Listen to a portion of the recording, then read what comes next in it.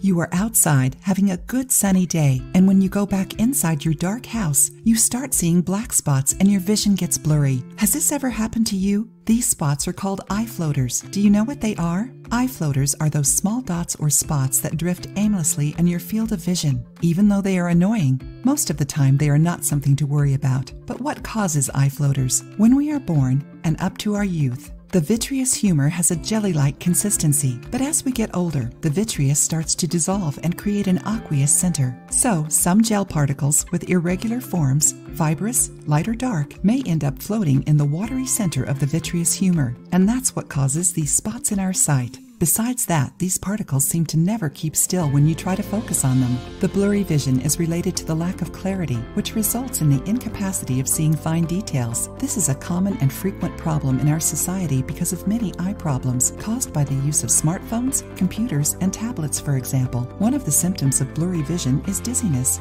and also frequent headaches. Among the causes of blurry vision, we have migraines, stress, anxiety, and other causes, including cerebrovascular accident, CVA, or stroke. Besides that, some medicines may also cause a temporary blurred vision as a side effect. Blurry vision can appear since birth or happen as we get older. If you notice your vision is getting blurry in a gradual and progressive way, talk to an ophthalmologist. The doctor will ask for tests to detect the causes of this problem, including some diseases that may cause blurry vision, such as myopia, hyperopia, astigmatism, presbyopia, cataract, glaucoma, and diabetes. But if you only have eye floaters, rest assured that they are harmless. Many will disappear with time and will become less inconvenient. In most cases, a treatment is not necessary. However, if they persist and become too much of a hassle, it's better to look for an ophthalmologist.